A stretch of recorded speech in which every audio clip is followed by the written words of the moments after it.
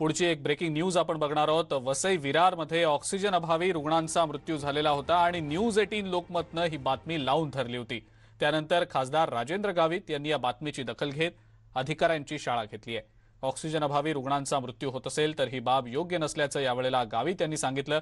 अधिकारी आणि कर्मचाऱ्यांनी कामात जर हलगर्जीपणा केला तर कडक कारवाई करण्यात येणार असल्याचा इशाराही यावेळेला त्यांनी दिलेला आहे. एटीन लोकमतने वसई विरार महानगरपालिका क्षेत्रामध्ये ऑक्सिजनचा तुटवडा मोठ्या प्रमाणावर अशा प्रकारचं त्यांनी बातमी दिली त्यानंतर लगेचच आयुक्त वसई विरार महानगरपालिका त्याचप्रमाणे एफ डी आयचे अधिकारी त्याचप्रमाणे महसूल अधिकारी आणि संबंधित डॉक्टरांची बैठक घेतली.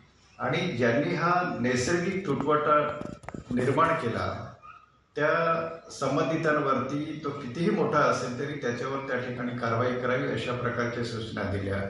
त्याचप्रमाणे रेमसेडवीरसारखं जे अत्यावश्यक जे इंजेक्शन आहे त्या इंजेक्शनचा पुरवठा हा कायमस्वरूपी पूर्ववत करावा अशा प्रकारच्या सूचना दिल्या.